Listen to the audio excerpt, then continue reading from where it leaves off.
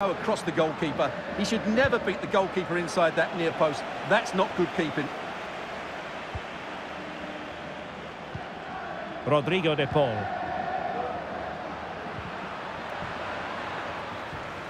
And a corner for Atletico. Who's going to get on the end of it? No nonsense clearance.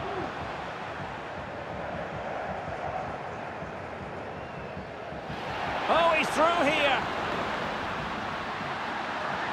Must finish. And a goal!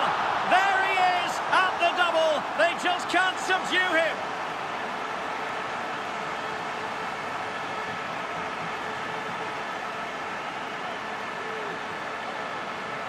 Well, here it is again, and it's all about the pace on the counter-attack.